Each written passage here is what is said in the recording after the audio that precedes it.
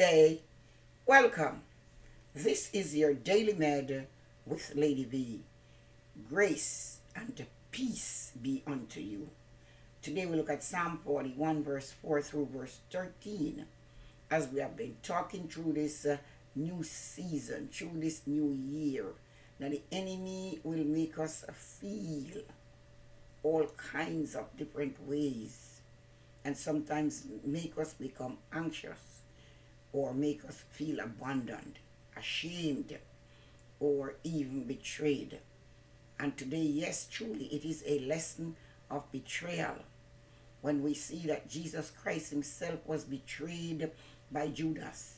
He was also betrayed, um, David was betrayed by his own son, by his own familiar friend. So Jesus understood what David was going through because he himself was betrayed. We find that in St. John 13 and verse 18, as we said, Judas, one of Jesus' 12 disciples, had spent three years learning from Jesus, traveling with Jesus, eating with Jesus. And of course, he was uh, the financial person for the entire group. Eventually, this familiar friend betrayed Jesus. And this is the situation that uh, David faced uh, when he wrote uh, this uh, psalm, even though the story is to be found in 2 Samuel 15, verse 4 and 12, or even his friend Ahithophel in 2 Samuel 16, verse 15 through verse uh, 23. In Psalm 41, verse 4, it says, I said, Lord, be merciful to me. Heal my soul, for I have sinned against you. My enemies spoke evil of me. When will he die and his name perish? And if he comes to see me, he speaks lies. His heart gathers iniquity to himself. When he goes out, he tells it. All who hate me will whisper against me. Against me they demise, sorry, they devise my hurt. An evil disease, they say, cling to him. And now that he lies down, he will rise up no more. Even my own familiar friend in whom I trusted, who ate my bread, had lifted up his heel against me. But you, O Lord, be merciful to me and raise me up that I may repay them.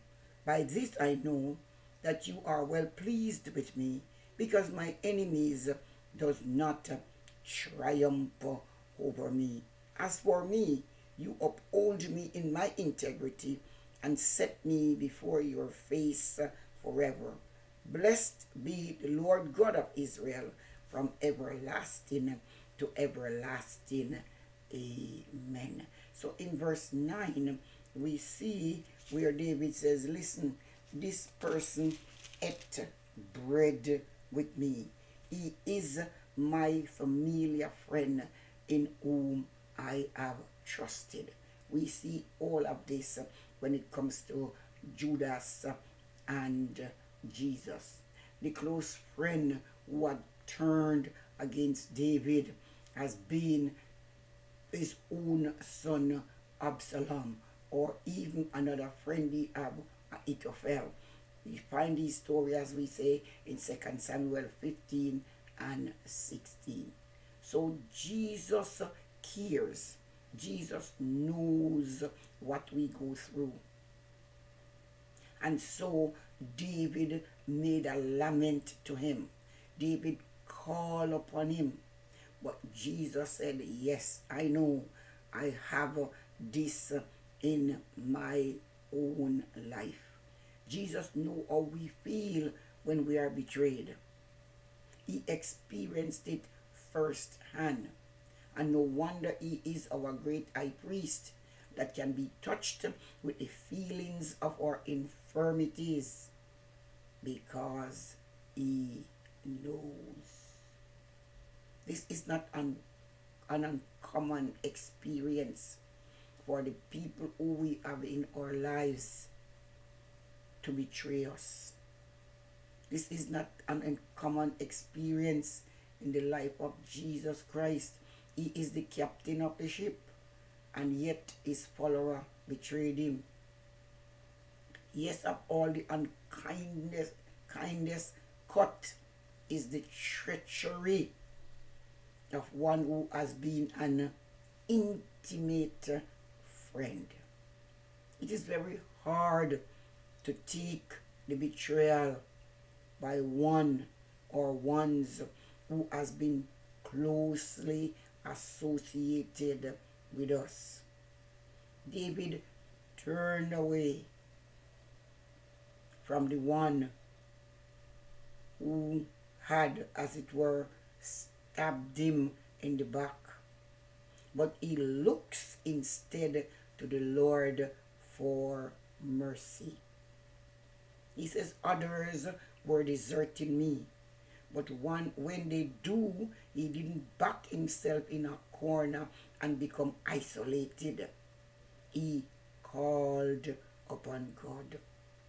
So as we say, many feelings may come to us uh, throughout this year. It's times of uncertainty, but at the same time, we need to look to God. He will not desert us, uh, but He will remain faithful and truthful. It seemed a strange request when we get to, to verse 10, when David is saying, Lord, do something to the enemy. He says, But you, O Lord, be merciful to me. He says, Raise me up that I may repay them.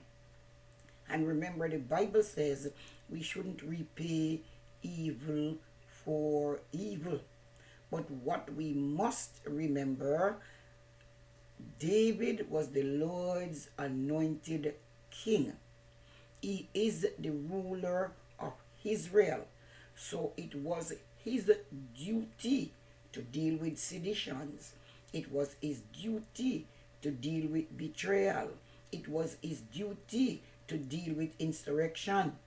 So as the king, he has to discipline those who raise up against him as an individual, he would have chosen to be obligated maybe to forgive, as it were, his enemy.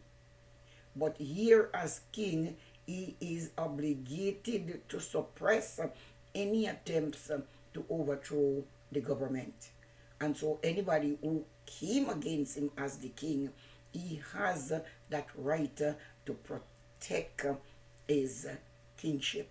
He is the ruler. He is the leader. David sees, anyway, the failure of his enemy's plot as an indication that the Lord's favor was towards him. Many times the enemy will rise up against us. We will not be beaten down because the Lord favors us. So he does not allow the enemy to destroy us. And so David said, You have upholden me in my integrity.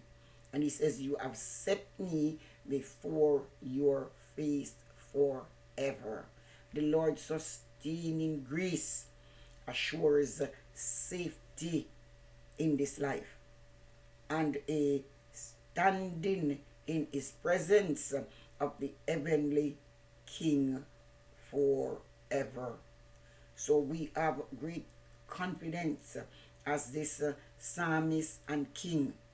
He raises own voice in praise, in adoration and thanksgiving to Jehovah, the covenant keeper the God of Israel, David said, He is worthy to be worshipped from everlasting to everlasting. And he said, Amen, Amen. We too can sing such praise that God, in His infinite mercy, will protect us uh, regardless uh, of what the enemy does, whether he is a foe or whether he is a familiar friend or a straight out enemy.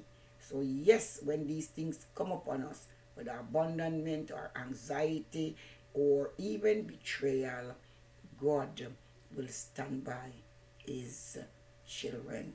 God bless you. Please subscribe, it is free. Please continue to visit my channel Daily Med with Lady V. Also, please like, share, and comment.